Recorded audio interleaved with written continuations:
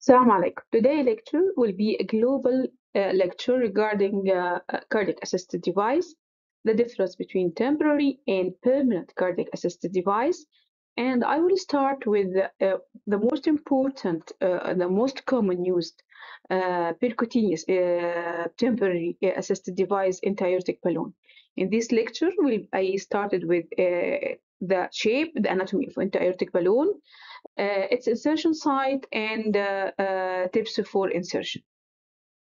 Comparing temporary versus permanent assisted device.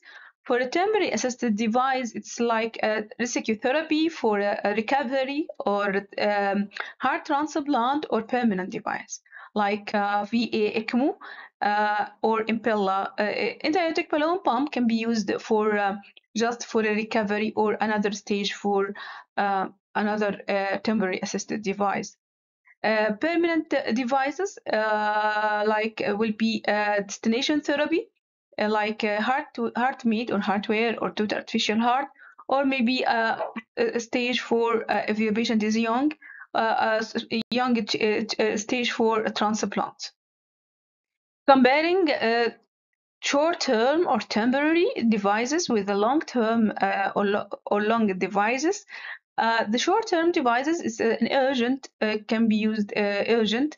It should be less than 24 hours or 72 hours insertion.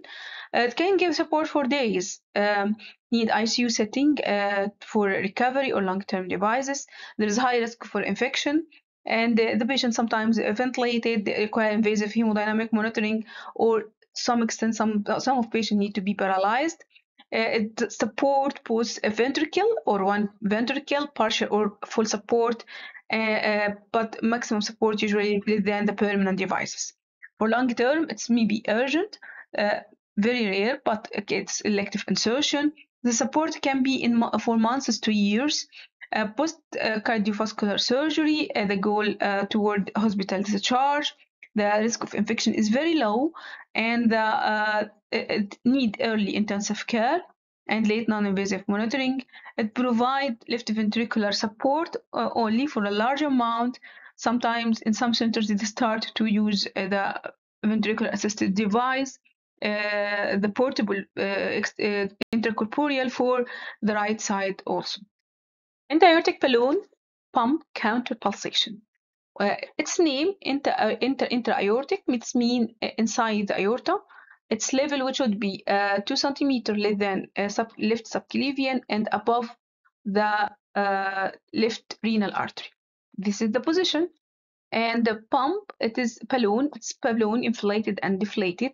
The balloon is inflated uh, in diastole, deflated in systole and pumps acting like uh, when it's inflated it take about 80 to 85 percent of the aortic uh, size. So it acting like a pump pushing the blood outside the aorta. Counter pulsation uh, it's uh, like the, the, the, the balloon giving pulsatile flow. But the pulsatile flow is different from the aorta the aorta uh, different from the heart itself the heart contracting in systole but the balloon is deflated in systole. The heart is relaxed in diastole, but the balloon is inflated in the diastole. That's mean by counter pulsation. If we come for uh, the anatomy of intra-aortic balloon pump, we will find that it's, it's two parts. Uh, the part inside uh, the human uh, human being or the body, which is the catheter itself, and uh, it's connected to the console which is outside uh, the body and the, also the lower part of this console is the battery and the, uh, the, the, helium uh, cylinder. And if we come for uh, uh, the the catheter itself we will find the catheter is two part part inside the body and part outside the body which is started from the fixation of the the the, the, the catheter and uh, uh, the catheter itself connected to the helium cylinder which inflate the balloon itself. Now we will take a, the catheter itself. It's composed of two parts. Uh, extra body part, which is outside the body from here, where um, after the uh, the sheath uh, seal, universal sheath seal, and this is the part of the catheter inside the body. The uh, intra-aortic balloon uh, catheter is uh, uh, composed of double lumen catheter, uh, which is this is a vascular shaft, which is sliding sliding over the guide wire by Seldinger technique. And uh, this is the balloon, which is cylinder in shape, polyurethane balloon. Its length is 20 to 30 uh, centimeter. Its volume to is 30 to 50 uh, mil, and uh, uh, it's uh, inflated by um, uh, by helium, uh, and it's connected to helium cylinder as I showed before. The outside part is uh, composed of the part is inside the sheath to be sterile, because if we need to advance or uh, or uh, aspirate the the catheter, it can be done uh, while the while the sheath uh, is still uh, fixed. Recent uh, uh, balloon catheters are fiber optic catheter, and this is very uh, good part, which uh, having uh, um, no electrosurgical interference during uh, the operation of uh, uh, cardiac surgery, like cautery pacing. There is no need to do leveling or zeroing. It doesn't affected by the patient movement. Doesn't need would affected by fluid level inherent uh, transducer and give accurate measurement of uh, blood pressure. When it comes to the back of the console, this is the uh, helium, which is a cylinder, which uh, which is used uh, to inflate the balloon, and it's low density. That uh, mean that there is little turbulent flow, so the balloon can inflate fast and deflate slowly. It is relatively uh, benign and eliminated quick, quickly if there is a leak or balloon rupture.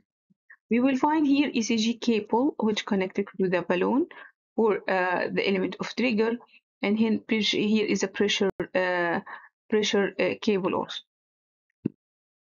Here there is a picture of uh, intra-aortic balloon console which is composed of two parts. The first part is the screen where it shows the ECG uh, pressure waveform and the this is the waveform representing the inflation of the balloon itself and this is the uh, representing the uh, helium cylinder uh, and how much it's filled with helium. This is part of balloon inflated and deflated, if deflated or inflated. And this part of the console representing the manual for how to work. Close uh, picture for uh, the balloon itself. It's uh, ECG the uh, pressure waveform, the deflation or inflation of the balloon. Here is the balloon itself inflated or deflated, the helium cylinder, the degree of balloon uh, inflation indicator.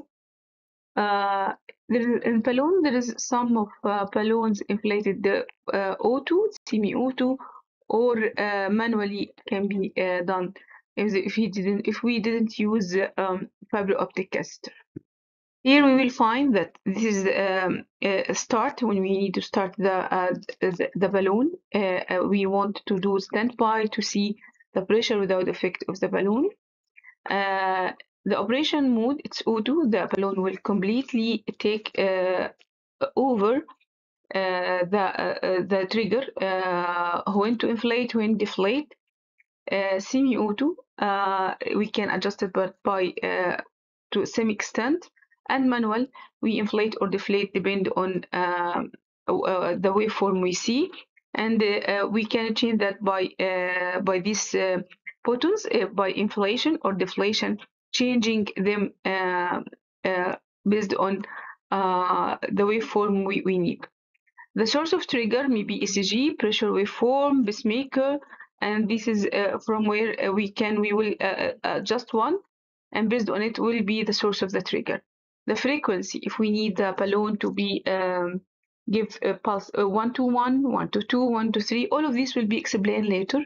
And the augmentation mean that the degree of balloon inflation if the balloon is fully inflated it will take uh, the size of 80 uh, to 85 uh, percent of the uh, aortic of the aorta so it will play it will not completely include the aorta it will take only uh, 80 to 85% of its of the aortic size. Types of insertion. The size of the balloon, we can use 30, uh, 30 uh, cc for patient who has height uh, 147 to 162 or basal surface area than 1.8. 50 cc we're using for the height with more than 182 um, or basal surface area more than um, 1, uh, 1.8 uh, surface area 40 cc in the in the uh, height in between. Tips of insertion. Sometimes we uh, do uh, percutaneous uh, with the sheath or without sheath, or sometimes it will be difficult to access the artery, so it can be done through arterial cut. First, we uh, should measure the length uh, of the balloon to which we to, to, which it, we advance it inside the body. So we can measure before the insertion from the insertion point to the sternal angle. We can use fluoroscopy guided insertion uh, and uh, uh intensify, uh, intensifying the screening during insertion. Uh, we can use transesophageal echo and it should be 2 centimeter distal to the, the origin of the left subclavian artery. Uh, X-ray can be done uh, after insertion to see the level of uh, the balloon. it's in the the left mean bronchus or in the second or third intercostal space. Uh, the also very simple uh, measurement uh, during the insertion, the shape of arterial waveform and uh, its uh, presence, it's, it will give indicator for the position of the balloon. In this video, we will see the insertion of the intra-aortic balloon pump. Now we get the axis for the sheath and the guide wire spot, we will start to advance very slowly, gently the balloon while it's deflated and uh, try to advance it without any resistance inside the sheath to avoid uh, the, the occurrence of any uh, resistance or problem during insertion to do friction in the balloon itself. After inserting and reaching the tip, uh, the position uh, 2 centimeter distal to uh, left subclavian, uh, we will stop the insertion and start uh, the next step. In this video, we'll see uh, while we inserting the balloon, there is some resistance. The balloon started to bulge uh, uh, together, uh, bulge uh, outside the cheese. So now we shouldn't go against the resistance. We should uh, take it out very gently and try to do the, make the balloon anti-clockwise to be able to advance it very gently and softly without any resistance.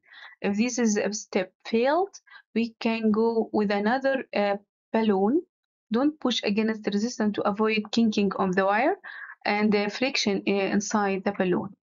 This is nice X-ray was taken during the balloon inflation. This is the tip mark, opaque, uh, radio opaque mark, and this is the balloon is completely inflated. This is the reference for this lecture. Uh, besides, there are many commercial uh, uh, many commercial website uh, explaining the intra-aortic balloon and its work. Thanks uh, for uh, your listening, and I'm happy to receive your questions and comment in the comments below.